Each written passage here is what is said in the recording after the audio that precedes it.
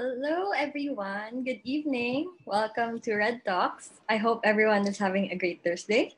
So, yeah, I'm really happy and I'm excited once again because I'm the host. And uh, for the and I'm excited for the people who are already here and yung papunta pa lang dito. So for everyone who's here, who is listen and who is listening for the first time, let me just share to you a bit of what Red Talks is. Red Talks is a storytelling Bible study. So we focus on the salvation that uh, Jesus brought for us here on earth. So we center and we focus on the red letters, the most important words in the Bible, because they are spoken by Jesus through his stories and parables in the New Testament. So that is what Red Talks is in a nutshell. Uh, so for tonight, uh, for the one who will give us the summary, I call on my sister who is here next to me, Hannah. Good evening, everyone. Welcome po.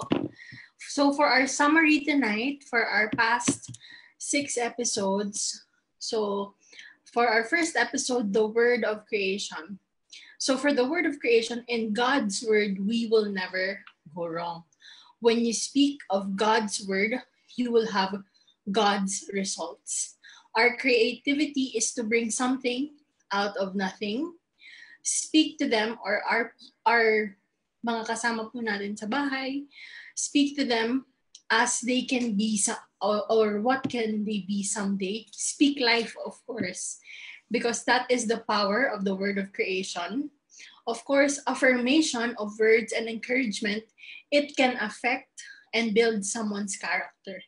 So for our second episode, the word of salvation, when we have the revelation, it is very important um, how our relationship with God is. The, and of course, the connection of our mouth and our heart is to be alive with Christ is the simple definition of salvation. So for our third episode, the word of authority, words can make or break us. Words can make and break you. And of course, God's word are not magic words. God's word has authority and power. So, for our fourth episode, the word of faith. So, for the word of faith, what we believe in has to come out on what we say. Faith operates with patience. Hindi po siya shortcut, mga kapatid. As long as we believe with faith and patience, we will receive the promises of God. When we build our life with faith on the promises of God, it will stand the test of time. So, for our fifth episode, the word of eternal life, words are very much important. The Bible is more than just a self help book. Let us also get to know our author, which is God. And if we believe now, we are experiencing eternal life. So we have to experience it now po. And of course, for our episode 6, the word of healing, where God's will is, that is the best place to be. The word of God came first before healing. Of course, let us declare the prompt, declare, believe, and proceed. So that is the summary for our six episodes we've had now. And let now let me introduce to you our speakers, Rome, Rose, and Mel.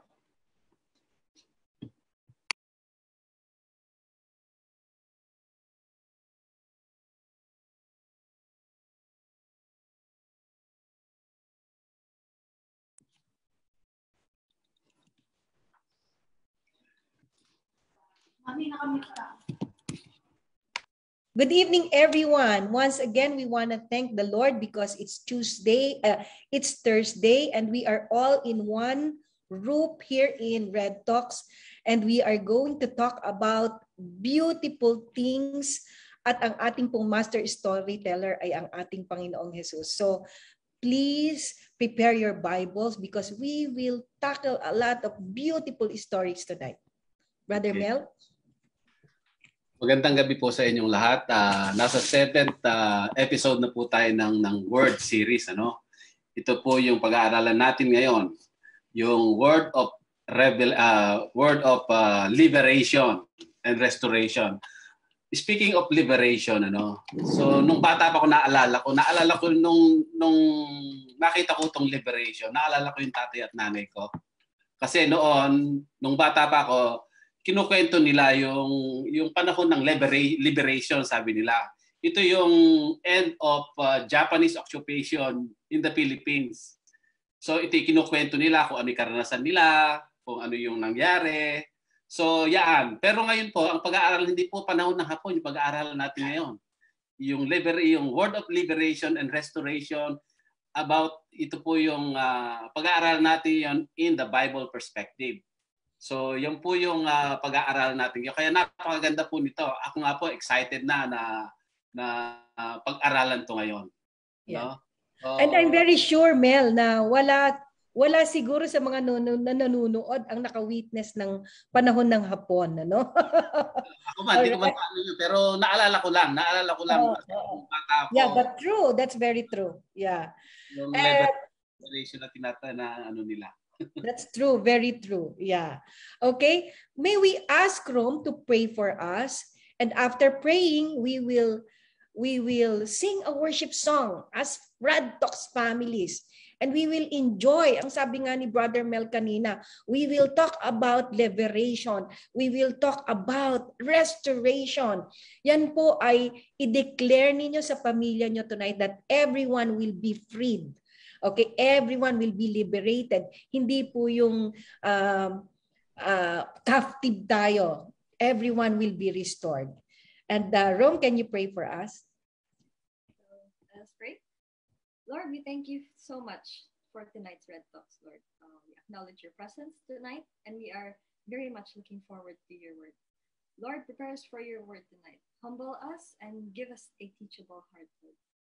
Uh, I pray for the speakers that as they share your word, they are constantly communicating with you. I pray for the families that are listening, every son, every daughter, every mother, every father. I pray that your word will flow through them and that as they listen, they feel a sense of relief, a sense of restoration and liberation, Lord. Lord, we love you and we give you back all the glory and praise. In your name we pray, Amen. Amen. How great thou art, high and mighty. How great thou art. Welcome to our episode 7 of the Word series here in Red Talks most of us, we are hostage of something. We are captive. We are prisoner of events or things in our lives, either in sort of sickness, in sort of bad relationship, even in our belief, or even in tradition, and worse, in religion. Not few preachings are tackling about liberation and restoration. Liberation, ang sabi po dito, the definition is the act of setting someone free from imprisonment, slavery, or oppression. So tanungin mo sa katabi mo, are you set free? Are you imprisoned of something? Are you a slave of someone? What is restoration? Restoration is the action of returning something to a former or a original condition. Last Tuesday, we talked about we as children, we as the creation of God, we are whole. We are originally made as complete. But in some sort of captivity, in some sort of pre-imprisonment. We are captive by something in our lives. But tonight, we will talk about the word liberation based on the Bible. This is Red Talks. We are a storytelling, and the master storyteller is our Lord Jesus. Tonight, Ati Anna Pin.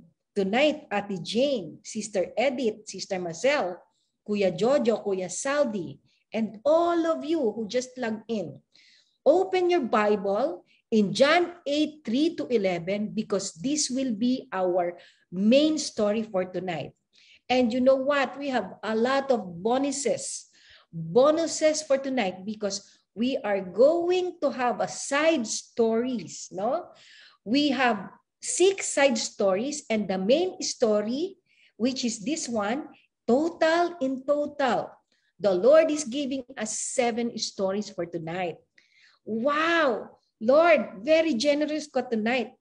So that's why talk to your husband, talk to your daughter, your son, even the extended families, aunties and uncle, and tell them, stand by because the Lord is going to speak to you personally.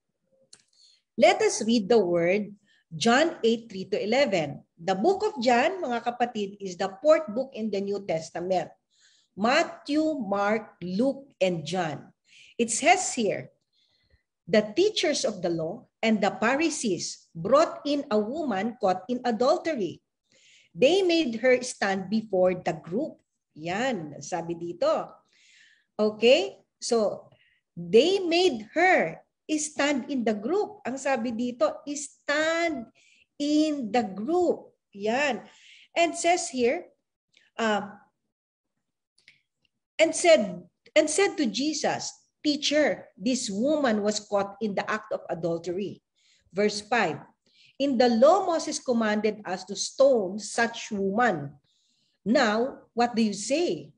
Yung number 5 po and 4, the teachers of the Pharisees, the teachers of the law and the Pharisees are setting a trap to our Lord Jesus. At ang sinasabi niya, Teacher, this woman in front of you, she is caught in adultery. And in the law of Moses, such woman has to be stoned. And verse 6, we said, they were using this question as a trap in order to have basis for accusing him. But Jesus bent down and started to write on the ground. And number seven, when they kept on questioning him, he straightened up and said to them, Let any one of you who is without sin Okay. Any one of you here, Sister uh, Alicia, Sister Elsa, Sister Cleo, Sister Irene, any one of you, ang sabi dito, any one of you who hasn't sinned, okay? Be the first to throw a stone at her. We are reading from NIV and in NASB, New American Standard Bible, no? It says here, ang ganda dito, He who is without sin among you, let him be the first to throw a stone at her. Guys, ang sabi po dito, no? Let him be the first to throw a stone at her. Number eight, again, he stooped down and wrote on the ground. So two times, our Lord Jesus wrote on the ground. And we will have a separate um, study of that. But tonight, we will talk about liberation and restoration. I-type po natin sa comment section, liberation and restoration. Verse 9, At this, those who heard begin to go away one at a time. So, unti-unti daw nawala ang mga pariseyo and teachers of the law nung nakita nilang may sinusulat si Lord. At saka nung sinabi ni Lord na kung sino man ang walang kasalanan sa inyo, let him be the first one to throw a stone on this particular woman who committed adultery. Okay? Number 10, Jesus straightened up and asked her, Woman, where are they? Yan hinanap ni Lord. Nasaan na yung mga Pharisees and mga teachers of the law. Hinahanap niya kasi unti-unting nawala. Okay? Has no one condemned you? This is the good Lord speaking, mga kapatid. The court of ungodly. Ito yung mga court na nag-i-imprison ng mga tao. Ito yung mga teachers of the law and the Pharisees. They were gone one by one. Number 11, the woman replied, No one, sir, she said. Then neither do I condemn you, Jesus declared. Go now and leave your life of sin. Wow, beautiful verse. Basahin po natin ito sa Tagalog na mabilis. Ano? Dumating noon ang mga tagapagturo ng kautusan at mga pariseo na may dalang isang babaeng nahuli sa pangangalo niya. Iniharap nila ito sa karamihan at sinabi kay Jesus, Guro, ang babaeng ito'y nahuli sa aktong pangangalo niya. Ayon sa kautusan ni Moises, dapat batuhin hanggang sa mamatay ang mga katulad niya. Ano naman ang masasabi niyo? Itinanong nila ito upang subukin siya at may maiparatang sila laban sa kanya. Ngunit yumuko lamang si Jesus at sumulat sa lupa sa pamamagitan ng daliri. Patuloy sila sa pagtatanong kaya tumayo si Jesus at nagsalita, ang sino man sa inyo na walang kasalanan ang siyang maunang bumato sa kanya. At muli siyang yumuko at sumulat sa lupa. Nang marinig nila iyon, sila isa-isang umalis Simula sa pinakamatanda, iniwan nila ang babaeng nakatayo sa harap ni Jesus. Tumayo si Jesus at tinanong ang babae, Nasaan sila? Wala na bang humahatol sa iyo? Verse 11, Wala na po, ginoo, sagot ng babae. Sinabi ni Jesus, Hindi rin kita hahatulan. Umuwi ka na at mula ngayon ay huwag ka nang gumawa ng kasalanan. Beautiful story in John 8, 3 to 11. Here we are talking about, there are three or four characters here, ano, the teachers of the law and the Pharisees, our good Lord Jesus, and the woman who are who is committing an adultery. But there is one particular question in the law of Moses that they are talking about. No, they said Okay, in the book of Leviticus, you don't have to go there tonight. Anyone who has not sinned is the only one who can throw a stone to this woman who committed adultery. Okay, the question is in that particular event, in this particular story, out of the four characters na present po dito, iisa lamang po ang po pwedeng magbato sa babae. Sa kanilang, sa apat na character dito, teachers of the law and Pharisees are sinners. All of us are sinners. And especially the woman who is actually being, uh, ito yung pinaparatangan nila. Okay? The only person who has the right to throw a stone in that particular woman, according to the law of Moses, because it says here, In the law of Moses, we command to stone such woman. Okay? But here, sa apat pong present, ang Panginoon lamang ang pwedeng bumato sana sapagkat siya yung walang kasalanan.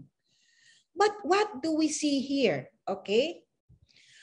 Ang kagandahan po dito sa istorya nito, at the end of the story, in verse 11, the Lord said, then neither do I condemn you.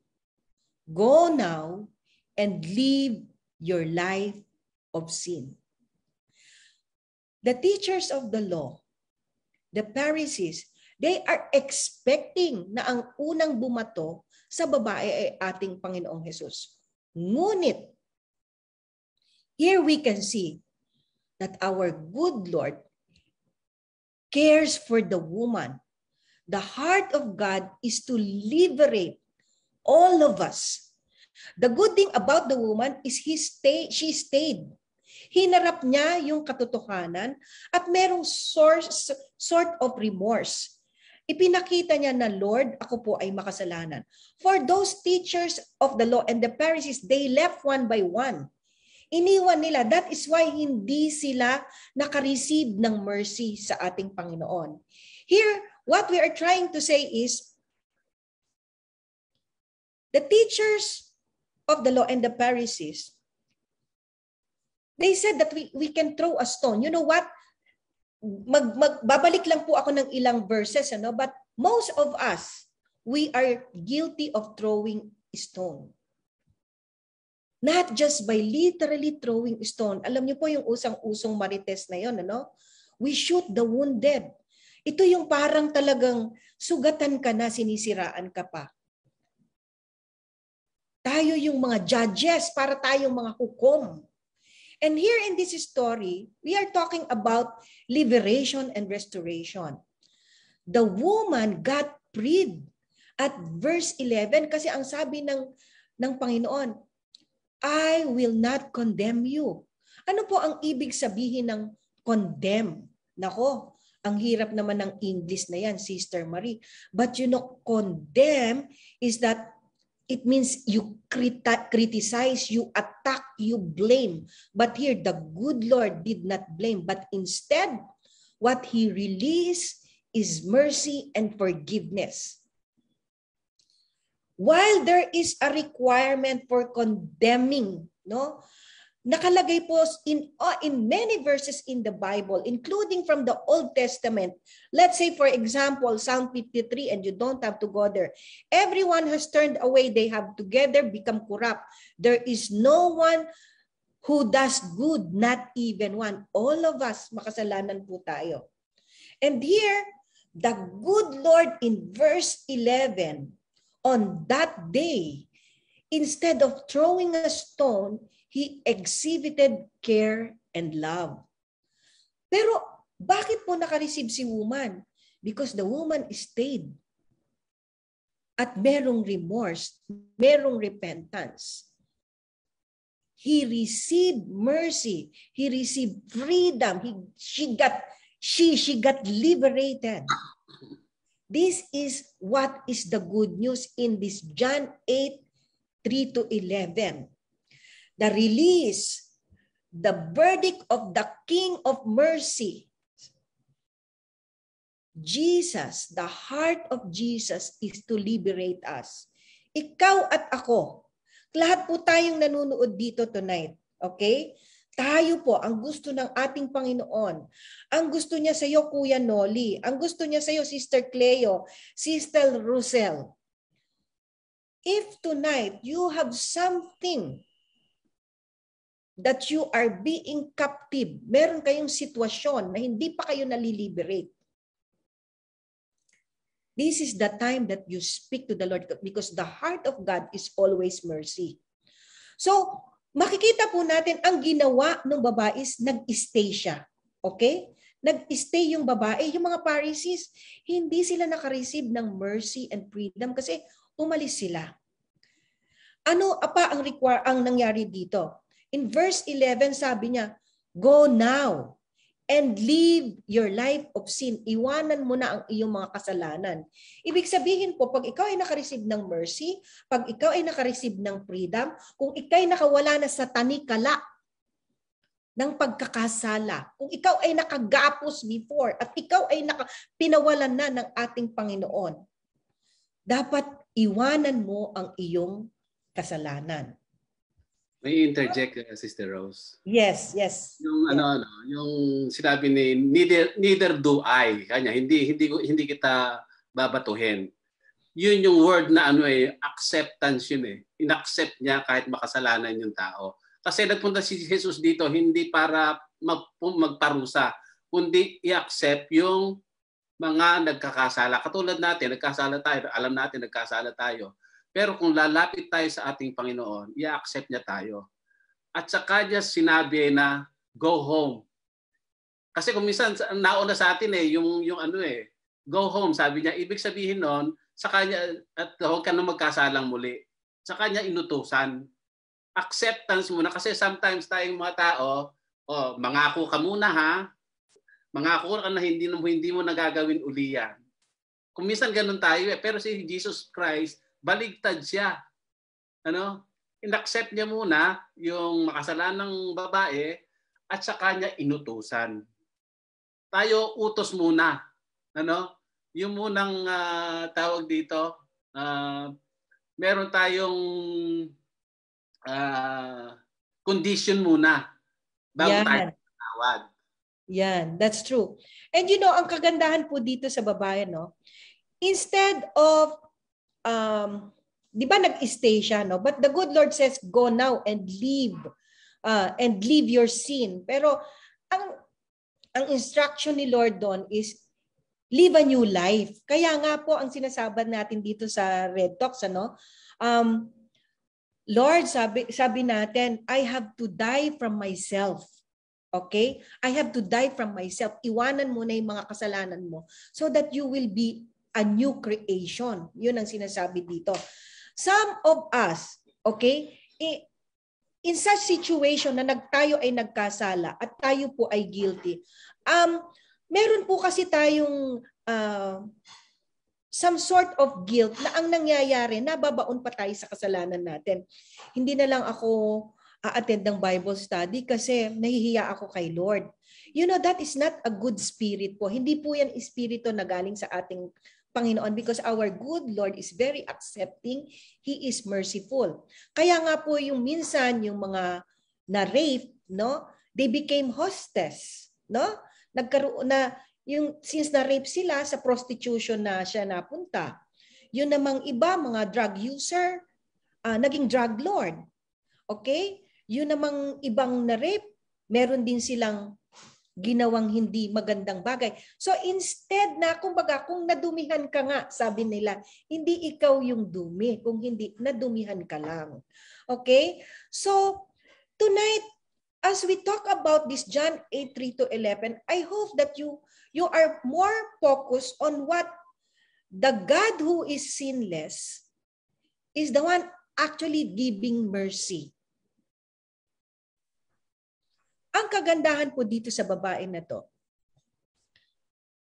after she got liberated, if you will read John 8 or the whole book of John, many of those who receive mercy and freedom from our Lord, lahat po sila nag-testify. You know what? Pag ang isang bagay po, ikaw ay pinakawalan na sa iyong kagapusan, you tell it eh, no? Alam mo, ang hirap-hirap ng buhay namin dati. That's why, ano, nagpapasalamat ako sa Panginoon. Yan. You know, um, na-rape ako dati, but the good Lord, uh, pinatawad niya ako. He is merciful. Aside from liberating me, He restores me. Kaya ngayon, excuse me, meron na akong asawa at mga anak. Those who did walk away, okay, yung mga Pharisee na nag-walk away, they remain still unforgiven. So kung hindi po kayo a-attend ng Bible study, hindi nyo, sorry, intentionally hahanapin ang Panginoon, you will not be victorious. Mercy will bring triumph to your lives. No? Ang sabi dito, Leave your sin. Iwanan mo na ang iyong mga kasalanan at mabuhay ka ng bago. There are two stories that Brother Mel will talk to you about that will say na consistent ang Panginoon that He is the one giving words of liberation and restoration. So open your Bible in Mark 5, 25 to 34. Okay po. So ito yung story na to about the bleeding woman. Ano? So yung sinasabi ni Sister Rose na two uh, uh, story na to, ito, ito yung matatagpo nga sa Mark 5, 25 to 34 at saka yung sa Luke uh, 8, 40 to, to 48. Parallel to, no? the same story na kung titingnan natin, magkapareho sila. Ito yung uh, uh, yung Jesus healed the bleed uh, the bleeding woman. Ang sabi dito, basahin po natin, no? Ang babasahin ko lang dito yung uh, Mark 5 25 to 34. Ang sabi po dito, a large crowd followed and pressed around him, and a woman was there who had been subject to bleeding for 12 years. She had suffered a, a great deal under the care of many doctors. So nagpagamot po siya, nagpapagamot po siya for, for almost 12 years and has spent all he had. So in-spend na po niya lahat ng ano niya, na wala na po siyang pera, no? Uh, yet instead of getting better, she grew worse. So When she heard about Jesus, she came up behind him in the crowd and touched his cloak because he thought, if I just touch his cloth, I will be healed. So, naniniwala po siya na kahit masalat man lang niya, kahit hindi siya magpaalam, masalat lang niya si Jesus, yung, yung laylayan ng damit niya, eh, gagaling siya sa labing dalawang taon niyang sakit. Ano? Immediately, her bleeding stopped. Uh, I just touched his cloth and I will be healed, sabi niya. Immediately, her bleeding stopped and she felt in her body that she was freed. So ito po, uh, freed from her suffering. So nawala na po, yung na-liberate na siya, no? Na-restore na yung health niya. At once, Jesus realized the power had gone out from him. He turned around in the crowd and asked, Who touched my clothes? You see the people crowding against, against you, his disciple answered. And yet you can ask, Who touched me? But Jesus kept looking around, around to see who had done it. Then the woman, knowing that had happened to her came and fell at his feet and trembling with fear told him the whole truth. He said to her, sinabi ni Jesus dito, Daughter, your faith has, has healed you. Go in peace and be freed from your suffering. So ito po yung ano yung uh, count ng ano ng uh, ng isang babae na nagbi-bleed, ano? Basahin po natin sa Tagalog nang na mabilis, ano? May isang babae roon na labing dalawang taon nang dinudugo. Maraming hirap ang dinanas niya sa kabila ng panggagamot sa iba't ibang klase ng doktor. Naubos na niya ang lahat ng ari-arian niya sa pagpapagamot. Pero sa halip na gumaling ay lalo pang lumala ang kanyang sakit. Nabalitaan niya ang himalang ginagawa ni Jesus. Kaya binagsik, nakipagsiksikan siya sa mga tao upang mahipo man lang ang damit ni Jesus. Naisip kasi ng na, naisip kasi ng babae, mahipo ko lang ang damit niya ay gagaling ako. So yun po yung paniniwala niya, yun po yung pan, yung uh, yung uh, pananampalataya. Nang mahipo nga niya ang damit ni Jesus, biglang tumigil ang kanyang pagdurugo at naramdaman niyang magaling na siya. Agad namang naramdaman ni Jesus na may kapangyarihan na, na may kapangyarihan na lumabas sa kanya. Kaya lumingon siya at nagtanong, Sino ang humipo sa damit ko? Sumagot ang mga tagasunod niya, Sa dami po ng mga taong sumisiksik sa inyo, bakit pa kayo magtatanong kung sino ang humipo sa inyo? ang sabi ng kanyang mga alagad. Ano?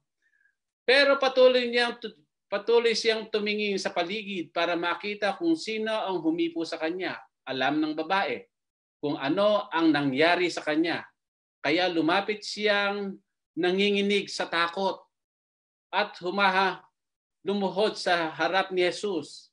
Ipinagtapat niya ang katotohanan kay Jesus. Pagkatapos sinabi sa kanya ni Jesus, anak. Ang sinabi niya, anak, ano? Hindi hindi niya sinabing babae, hindi kundi anak. Pinagaling ka ng iyong pananampalataya. Umuwi kang mapayapa. So parang ganoon din sa ano natin ano, pinauwi ni Jesus nung, ma- nung makita niya. Na-restore dito o na-liberate yung uh, babae doon sa kanyang uh, suffering, ano? Itong babae na to, kaya siya hindi na siya nagpaalam eh. Kung titingnan natin, hindi siya nagpaalam, di ba? Kasi nga during the time nung uh, mga panahong 'yon, ano, ang babaeng dinudugo sa Jewish uh, sa Messiah sa uh, Mosaic uh, law, pagka dinudugo ka, hindi ka pwedeng makahalubilo sa mga tao. Kasi lahat ng matatabanan mo o mahihipo mo dudumi din. Kasi ang ano, ang sa um, sa, sa Israel law, pagka ang isang babae dinudugo, eh ano yan, uh, it's a dirty. No? So lahat na mahahawakan, no? Katulad ngayon sa atin ngayon sa ating panahon, di ba? Ngayong may, may COVID, di ba? Pagka nalapit kayo sa, sa isang kung may COVID, kahit wala kang COVID, di ba? Pinandidirihan ka na kahit sa sa pamilya ninyo. Di ba? Yung mga pamilya natin, ikaw, halimbawa ako, nagka-COVID ako. Yung mga anak ko, si Sister Rose, ay na lumapit sa akin. Di ba? Kasi yun yung ano eh, natatakot sila na mahawa rin. So ganun din ang sitwasyon dito. Mhm. Kaya ang ginawa ng babae, so nag-ano siya, yung uh, nag uh, hindi siguro nagtalokbong siya para makalapit lang siya kay Jesus. Pero ang ano diyan ano, yung uh, hoping na mat, ma, matatas lang niya si Jesus para kasi yun yung yung pananalig niya. Yes. Ang, ang, ang nakikita natin dito, no, yung pananampalataya ng babae yung nagpagaling sa kanya, di po ba? Kadalasan, ito po yung naan natin. Pero bago yung pananampalataya, may nawala kay Jesus. What's that? No? Yung power. May power na nawala sa kanya dito sa, sa ano sa sa dito, di ba? Her faith and the power of Jesus equals restoration or Mm. ano yung uh, healing. Yun yung nagpagaling sa kanya. Hindi lang Mm. yung babae. Kasi may nawala kay, kay, kay Jesus dito, maliwanag na sinasabi na may nawalang kapangyarihan, no? may nawalang lakas, Mm. lipat. Kaya kung minsan ano, kung minsan meron tayo tayo, tayo mismo, nananampalataya naman ako kay Jesus Christ. Bakit hindi niya ibinibigay yung gusto ko? Mm. Nananampalataya naman ako sa kanya. Bakit hindi ako gumagaling? Mm. Nananampalataya naman ako sa kanya. Eh, bakit hindi ako magkaroon ng trabaho? Bakit Mm. hindi ako makakita ng trabaho? Yes. Kasi nga, nag-ano tayo, nag, uh, nagre-rely lang tayo sa karunungan natin, nagre-rely lang tayo dun sa lakas natin, nagre-rely lang tayo sa mga taong kakilala natin, pero hindi tayo lumalapit sa ating Panginoon. Pero itong babae na to, although publicly, ano, although publicly hindi um, nahihiya siya o may takot siya. Ha? Mm. Pero sinubukan niyang lumapit sa ating Panginoon. Yes, amen and amen, Brother Mel. Ano? You know, ang nagustuhan ko dito, Brother Mel, is yung verse 34. Ang sabi niya, daughter. Okay? May relasyon, ano? Daughter, your faith has healed you. So, yun pong liberation and restoration, isa po sa mga key character natin ay dapat meron tayong faith. The same, ito po, the same story dun sa pinag-usapan natin kanina, which is yung adulterous woman. She stayed and she has faith that she will receive mercy. And here, ito naman pong babae na, na, na nakita natin, no? Uh, in fact, kaya na-release ang power ng ating Panginoon is meron ng faith ang babae before that. At kaya ang sabi ni, ni Lord dito, be freed from your suffering. So the key verse here is verse 34. He said to her, daughter, your faith has healed you. Okay? Go in peace and be freed from your suffering. Ano po yung na-restore dito? Ang na-restore is yung physical. Kasi nag-stop na yung bleeding. Pero nagkaroon din po ng release because she has the peace. Go in peace. Ito yung tinatawag na liberated na. Okay? Pinawalan na and be freed from your suffering. There's a lot of suffering going on with this woman kasi ano siya, uh, nire-reject siya ng society. Because ang tingin sa kanya un- unclean because be- before, ang sabi nga ni Brother Mel kanina, the Jewish law or the Mosaic law or the law of Moses, when you are bleeding, you are unclean. And if you touch someone who is clean, that will be also tagged as unclean. That is just the law. But here, Jesus is, is saying, no. Ako na sinalat niya, he touched Jesus. She touched Jesus, no? Sinalat niya ang ating Panginoon, maski ang Panginoon is very clean. That means she knows that this is the Messiah. This he is the one, he is the king that will free me from this sickness. For all of you, I know, meron po tayong mga prolonged sickness. For those of you Right now po, the Lord is talking to me. Are you experiencing cancer? Are you experiencing something na matagal na po kayong may sakit? The good Lord is just waiting for you, but you have to have faith just like this woman. For those of you na matagal na ang mga financial problems nyo, and you are a slave, no? Ang, ang, the heart that you are coming from is to have a financial freedom. But the good Lord is saying before you have a financial freedom, you should go in peace, seek the Lord because He is the one. The focus is for you not to get healed. The focus is chase after the one who is going to free you. Always and always we go back to the relationship with the good Lord who, who has the power, he has the word, who is the one who's going to release you the freedom.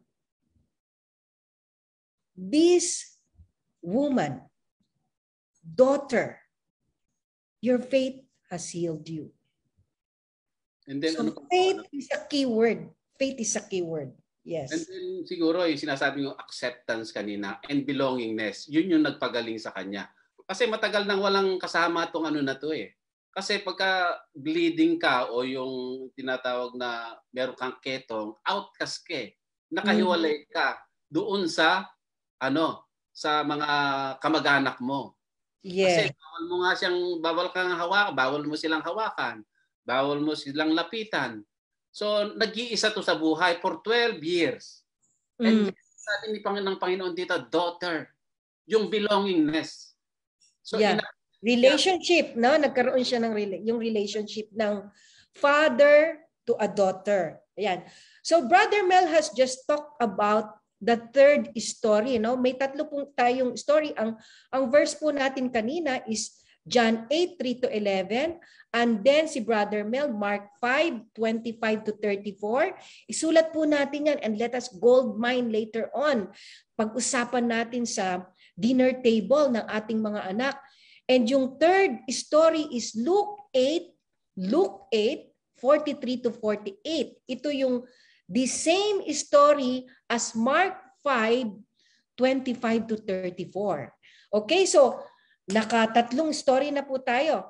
The fourth story, which is parallel to the stories that we talk about, yung tatlo kanina is yung story of the blind man in Mark 10, 46 to 52. And I will read very quick. Then they came to Jericho as Jesus and his disciple together with a large crowd were leaving. A blind man, Bartimaeus, means Bar, son of Timaeus, was sitting by the roadside begging. When he heard that it was Jesus of Nazareth, he began to shout, Jesus, son of David, have mercy on me.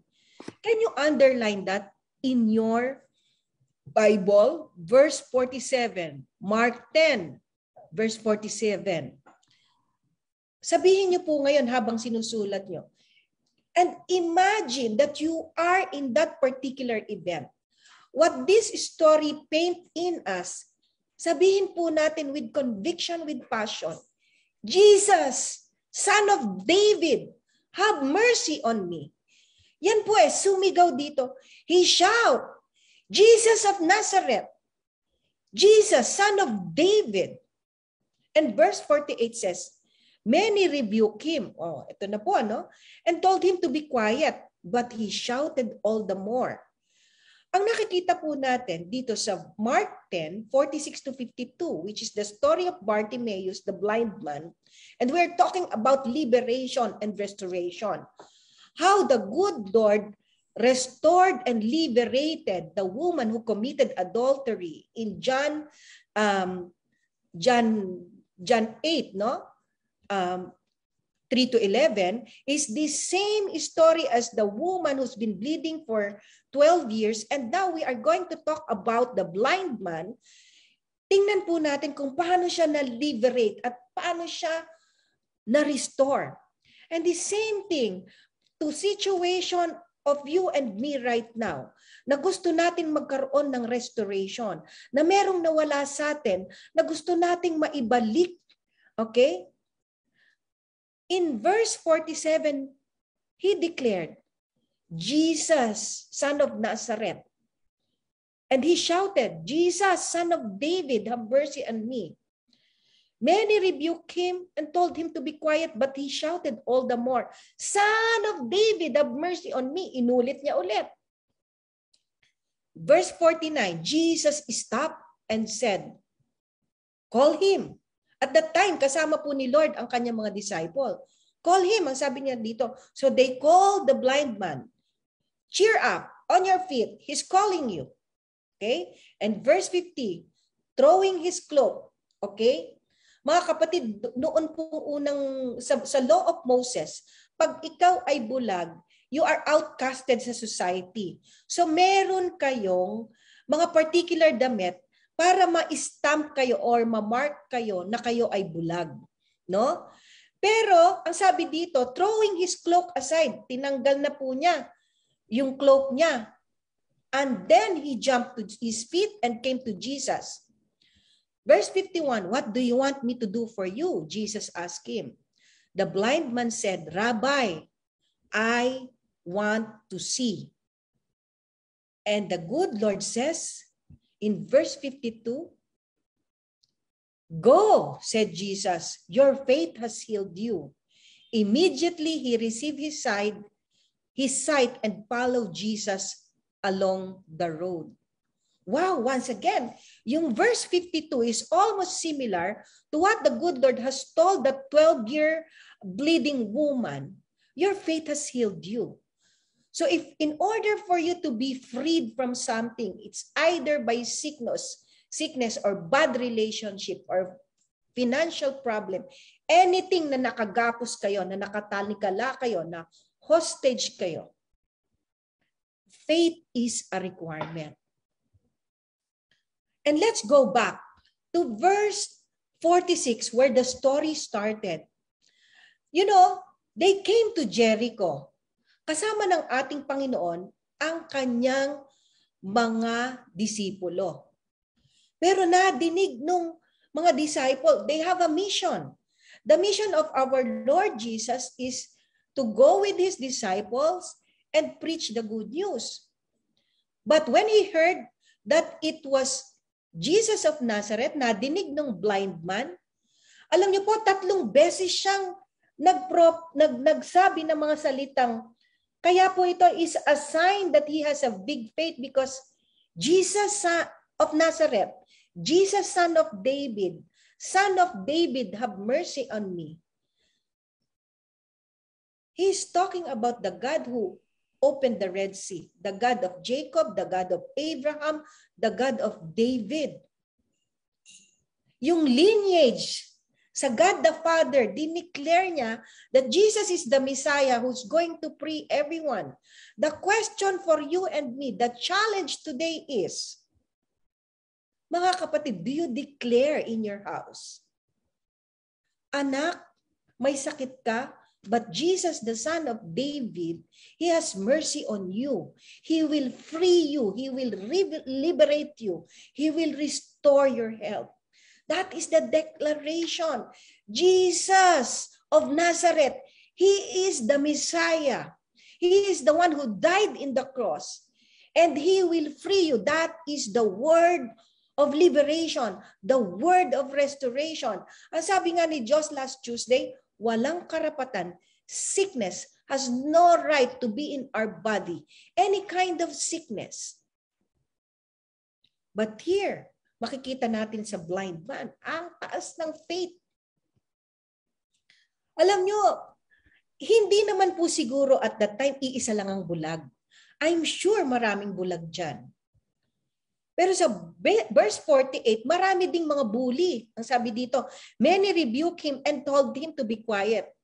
You know, ako po, ganito rin eh, biktima ako ng ganito na a lot of people around me, they keep on silencing me because even in the airport, even in the taxi, I have this urge to speak to them and introduce Jesus in my life. You know, Kuya Grab, I talk to Kuya Grab. I talk to Kuya Uber nung may Uber pa tayo. I, I talk to Kuya Tok Tok. And even in the airports, I look for OFWs going to the Middle East crying in the airports kasi iiwanan nila yung pamilya nila. And I told them, you know what? You can do this because the Lord is with you. Jesus, son of David, He is the one who is going to liberate you and me. And here in this story, ang dami pong gustong i-silence itong, itong blind man na to. But the blind man, instead of being quiet, quiet, he shouted all the more, Kuya Saldi, Kuya Jojo, lalo siyang, si Kuya Jojo, alam niyo po, si Kuya Jojo who's been listening and uh, joining us here in Red Talks. With your permission, Kuya Jojo, say okay kung okay ko lang na ikwento ang story mo at babalikan ko later. Because I can see you here no, in this story. Talagang maraming bully sa, sa buhay natin. Bright people ang mga bully, but very blind ang mga mga bright na ito. Alam mo, ito pong si itong si uh, si Bartimaeus, blind lang siya pero he can see spiritually. I-type niyo po dyan, he can see spiritually. And Kuya Jojo says okay to share his story. Kuya Jojo po is under uh, a sickness ng uh, nagpapadialysis si Kuya Jojo. But no one can silence Kuya Jojo to promote Jesus. Mga kapatid, Kuya Julius Dato, he has a big faith. That is why here, he is here in Red Talks. And here, you're correct, Sister Cleo. Maraming mga tao dito na talagang hindi bulag insight, pero bulag sila sa kanilang paniniwala because they are not freed, nakagapos sila. Okay? Here, itong si Bartimaeus, he shouted all the more with perseverance, with passion. Okay? The more that he gets silenced by the people, what he does is he proclaimed that the Messiah is going to free me. The Messiah who's going to liberate me. This is the only beggar who got the attention of Jesus. I'm sure meron ding sumisigaw doon. But the one who has faith, bago siya lumapit kay Lord, bago niya ma-receive ang sickness, tinapon na niya yung cloak. That is faith. Hindi na ako blind. Kasi hindi pa nga siya hinihil. Tinapon na niya yung cloak. You know, there is this story. Nagpe-pray ng ulan. Ang sabi nung anak niya, um, they're praying, they're praying in their house that No, we really need to pray for, for rain because our crops need it, our farms need it. And so, one day, um, ang sabi nung magulang, anak, we have to go out. Ang sabi nung bata, ma, bakit wala kang payong? Eh anak, ang taas ng ano eh, ng araw. No? But we're praying for rain, ma'am. Sabi niya, uulan kasi sasagutin tayo ni Lord. That is the faith eh. Nagdala agad ng payong. Mataas ang araw, nagpe-pray ng, uh, ng, ng payong. Sabi nung bata, uulan daw, kaya magdadala siya ng payong. That is the same faith we can see here. Before Bartimaeus received a sight, tinapon na niya yung cloak. You guys, if you're praying, you know, the, the kingdom of God operates in opposite. You have to give in order to receive. Kung ikaw, you are in the lowest financial situation but still you are generous to other people, there you will have a breakthrough. The kingdom of God operates in opposite. You have to die before you live. Before this blind man receive a sight, he has a faith already na itapon yung cloak niya. But verse 49, Jesus stopped and said, Call him. So they called the blind man. Throwing his cloak aside, he jumped to his feet and came to Jesus. But verse 51, pakipost po natin sa verse 51. What do you want me to do for you? Eh obvious ba Lord, ang gusto ko sight. Pero you know what? The good Lord will release liberation the good Lord will give you restoration, but you have to speak specifically. You have to ask specifically. What do you want me to do for you? Ang sabi ni Lord. Kunwari, ikaw yon, ikaw yon, Kuya, Kuya Saldi, no? Saldi, anong pwede kong gawin sa'yo? Eh, nakita naman niya, bulag ka. Pero still, tinatanong niya, You know, when you have a divine encounter and divine um, meet up with the Lord, Jesus can offer more. Si Hannah, my daughter, we ask her to, we ask the Lord to heal her. Hindi lang po healing ang pinagkaloob ni Lord. Lahat kami buong pamilya, kasama kaming na-restore. Lahat kami naging Christian because of the story of Anna, my daughter, 1994, and today, 2022. My family is serving the Lord because of that particular incident. So I ask you, what do you want from the Lord? Obvious ba, Lord? Gusto ko lang makakita. But Jesus asked, I want to see, ang sabi ni, ano, ni, ni Bartimaeus. Jesus, son of David. Jesus from Nazareth. Yung beggar po, naghihingi ng pera yan, ano? 'Di ba? Pag beggar, naghihingi ng pera. Maybe ang gusto lang ni ano ni Bartimaeus na bigyan mo ako ng pera para yumaman ako. Pero hindi eh. Bartimaeus asked for the source. Alam niya kasi, pag nagkaroon na siya ng sight, hindi na niya kailangan maging beggar.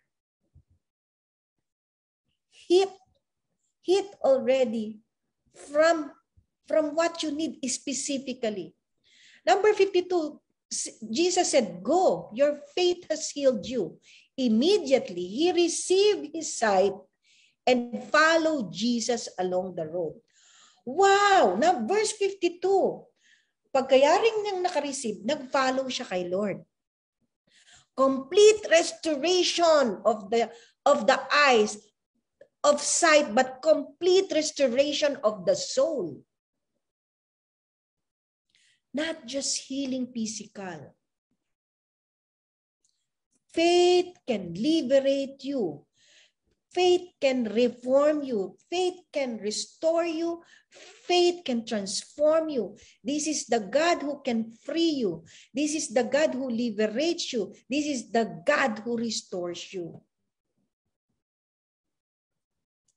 Tonight, mga kapatid, you parallel your story to the story of that particular woman who have sinned because of adultery. The woman who's been bleeding for 12 years, prolonged problem.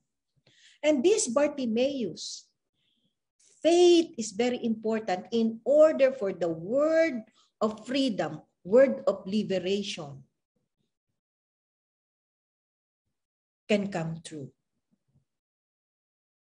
And these stories na binibigay po namin sa inyo ngayon, This is consistent that the God we are worshiping, the Jesus who died in the cross, is the God who can really give you everything, but you have to have faith. And the same story goes dito po sa story number 5 natin, which is the story of the leprosy. And so let's go to Luke 5, 12 to 16. Okay? uh, Luke 5, 12 to 16. Can you uh, can you read, Brother Mel, very fast? Luke 5? Yeah. Nandyan ba sa'yo? Okay? Can someone post po dyan? Remember, we have seven stories for tonight. Ang main verse, main story po natin is yung John 8. Yung seven stories po natin, you know. You know what, mga kapatid? 5 a.m. po namin pinag-usapan nito ni Pastor Willie kanina because he's working and he has to talk to us so that we can give you a beautiful story tonight from the Lord. We are so thankful because we have a good mentor na talagang pareho kaming we have to match our schedule because we just me and brother Mel we just came from uh, from Cebu last night and we arrived very late no so we have to do that because so that so that the good Lord will flow the message in all of us tonight. And I hope you got you guys are catching this. Brother Mel, can you read Luke 5, 12 to 16? 16, ano? 12 to 16. 12 to 16. Okay. Ano to? So Luke 5, verse 12 to 16. While Jesus was in one of the town, a man came along who was covered with leprosy. When he saw Jesus, he fell with his face to the ground and begged with him, Lord, if you are willing, you can make me clean. Jesus reached out in his hand and touched the man. I'm willing, he said. Be clean. Immediately, the leprosy left him. And Jesus order him, Don't tell anyone, but go, show yourself to the priest, and offer the sacrifices and Moses commanded for you for your cleansing as testimony to them. Yet the news about him spread all the more. So the crowd of people came to hear came to hear him and to heal of their sicknesses. But Jesus often withdraw it to a lonely place and pray. Amen. Amen. So mga kapatid, here we are uh, we are talking about in the story number 5 of our tonight's episode 7 ano ito po yung may leprosy in setting you free mga kapatid sometimes we hide on our sin. Okay? Ang sabi po dito, kasi pag may leprosy ka, dapat kasalanan na ipakita na may leprosy ka. So normally itinatago 'yon, no? In fact, ayaw ding makita ng mga pariseyo 'yon. Ang sabi dito is uh, Jesus reached out his hand and touched the man. I am willing.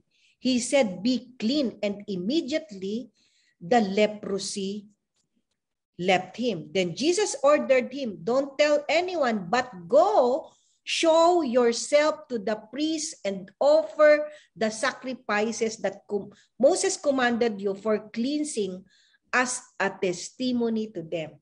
You know what? Magkakaroon po tayo ng word of testimony episode next time.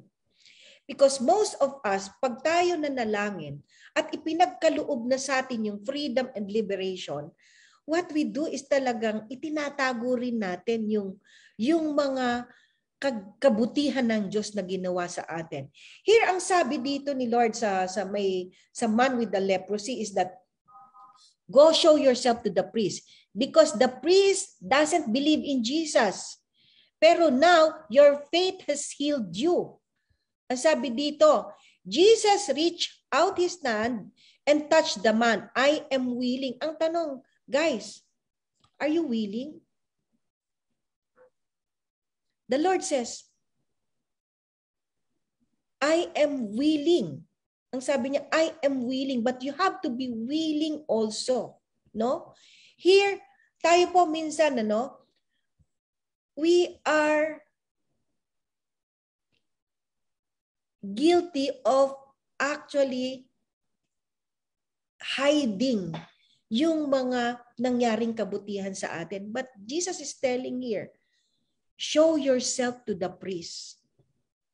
Alam niyo po, ang napagaling dito ng ating Lord, ang na-free siya, ang na-liberate siya dito is the shame and the guilt. Nag may kahihiyan dahil may leprosy eh.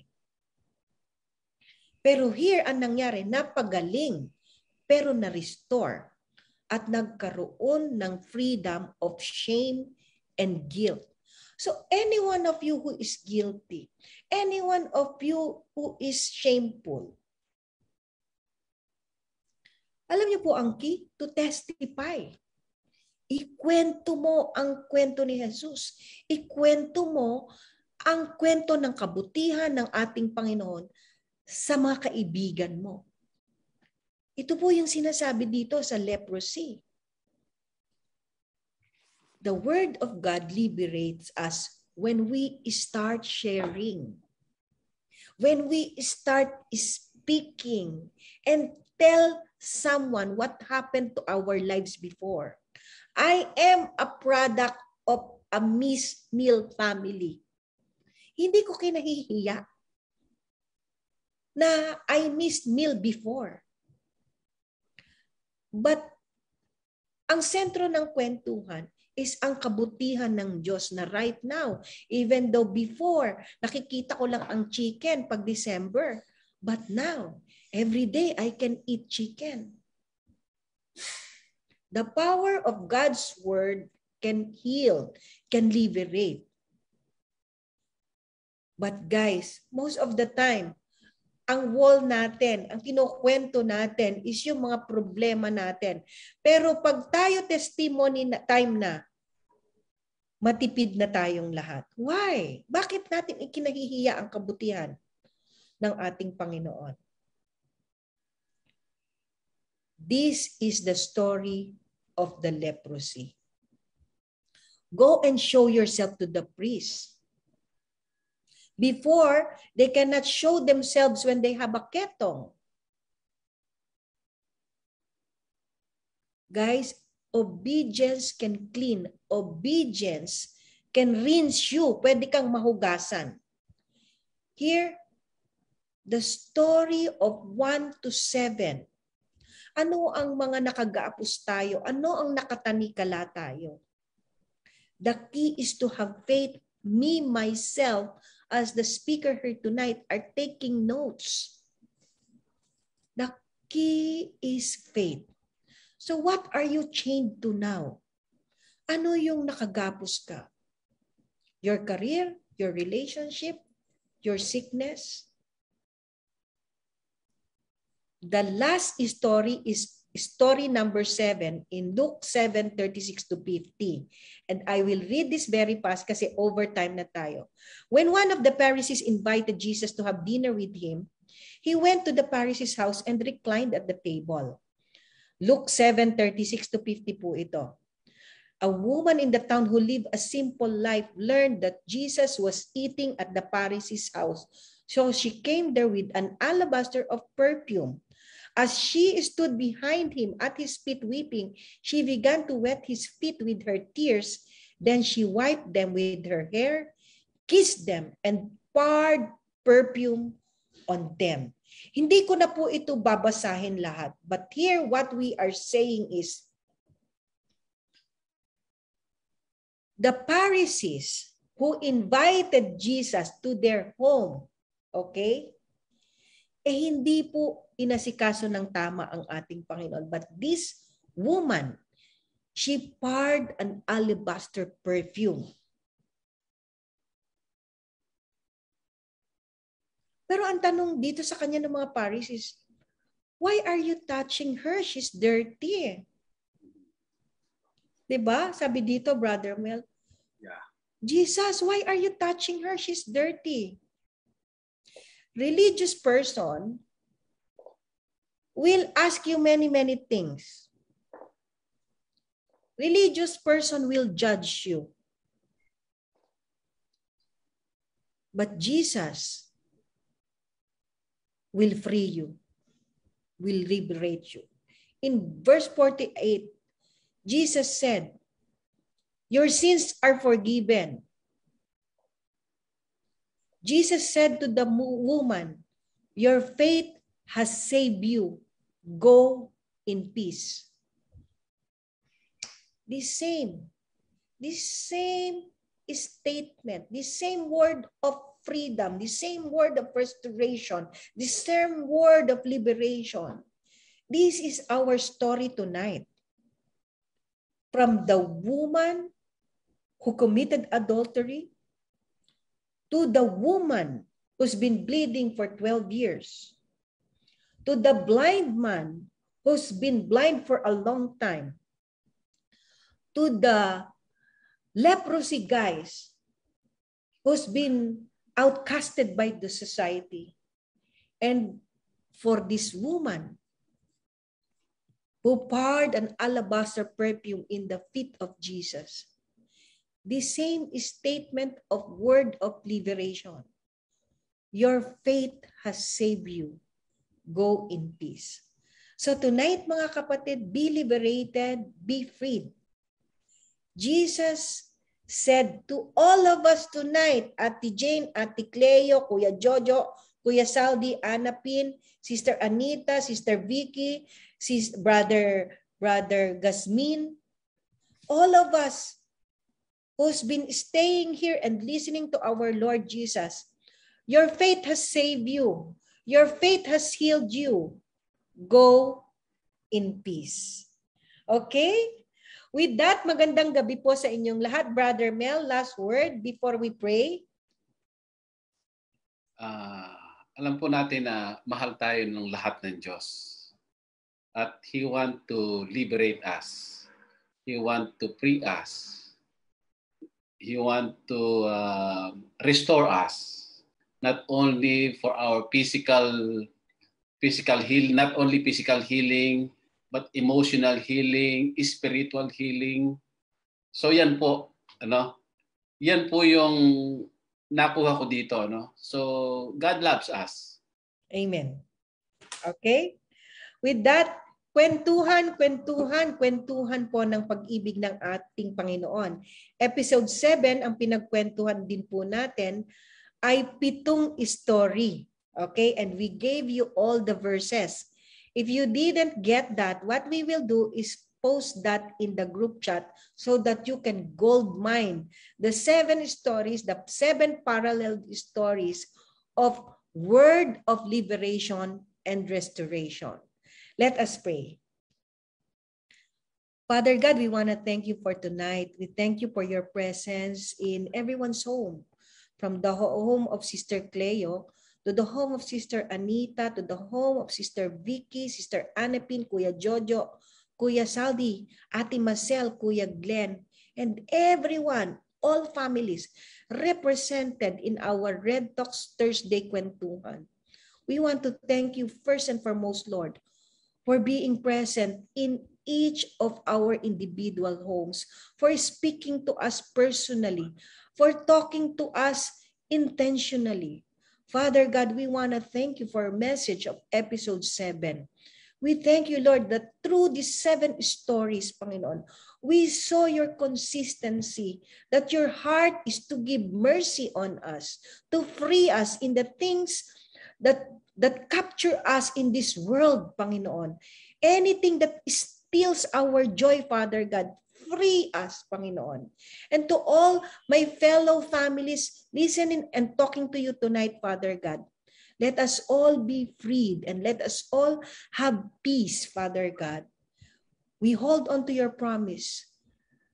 The promises you have fulfilled in the blind man, the promises that you have fulfilled in the woman that you gave mercy who's been bleeding for 12 years, the woman who committed adultery, the woman who have poured a perfume in your feet, Panginoon. These seven stories tonight, the words of freedom and liberation, Father God, may it speaks to all the families here, each member of the family. So Lord, we want to thank you because the God we are worshiping has mercy and love to all of us. We love you, Lord, and we look forward for Tuesday for another word episode, Panginoon. We thank you, Lord, because we get transformed. And tonight, Father God, we will infect many families through these stories, Father God. We thank you and we love you. In Jesus' name we pray. Amen, amen, and amen. Magandang gabi po sa inyong lahat. We thank the Lord And uh, we have a beautiful uh, Thursday edition. So i-gold mine nyo po lahat ng yon and we will post that in our um, group chat. Seven stories. Wow! Dati isa-isa lang yung story natin pero ngayon talagang seven stories. Ito pa lang.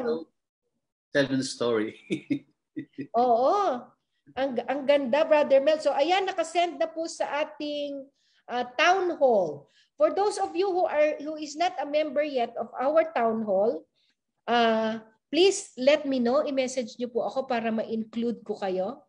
And these seven stories, pag-usapan niyo po yan, pagkwentuhan niyo sa inyong mga dinner table. Mahal po namin kayo. Good night po. God bless. God bless po. Good night. We love you guys. Bye-bye. Good night.